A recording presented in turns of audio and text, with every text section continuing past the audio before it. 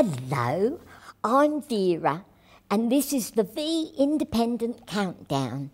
With me today, I have Alex, Dave, and Nick from Sparkadia.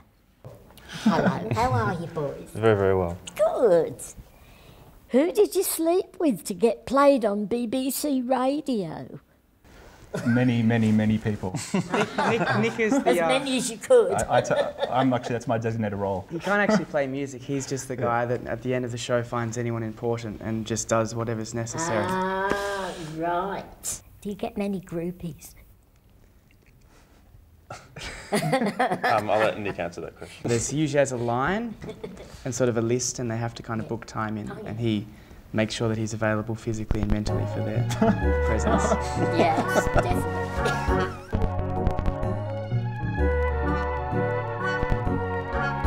I read a review that said you were Australia's answer to Coldplay.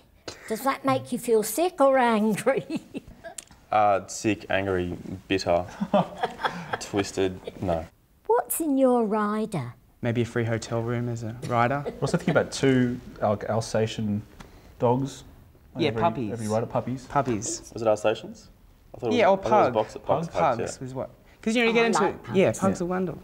You get into the room and you've got half an hour to spend. You know, do you want to be talking with your bandmates? No.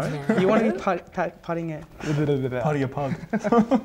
and talk about the set and say, what do you think we should put third? And the pub will back and it'll be it. Look, Quite a let- bizarre, bizarre comment. We'll, we'll end on a, a laugh. It's been lovely having you, and I hope I see you again sometime.